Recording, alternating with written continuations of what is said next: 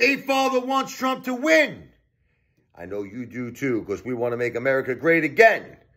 Right now, I'm going to make the piano great again. V for victory music for Trump. Let's go. Richie Levoi, aka the Apefather.